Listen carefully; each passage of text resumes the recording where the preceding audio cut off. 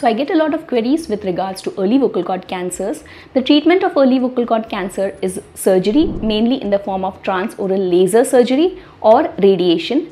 The results of both the treatment options are equal and very effective. But the surgery has certain advantages over radiation, which is mainly that surgery is cheap it is performed with the help of a single day admission whereas the radiation requires around 6 weeks of cycles and daily going to the radiation center. The voice outcome after surgery and radiation is equal and very effective and same. The complications of radiation are avoided in surgery and the surgery can be repeated if the patient has a recurrence of vocal cord cancer whereas if there is a recurrence after radiation we cannot radiate the patient again and we have to offer surgery and hence I would like to conclude that if you have a hoarseness uh, lasting for more than two weeks, you should visit an ENT and voice surgeon and get a stroboscopy done so that we can identify early vocal cord cancer and we can treat you better because it has a better prognosis.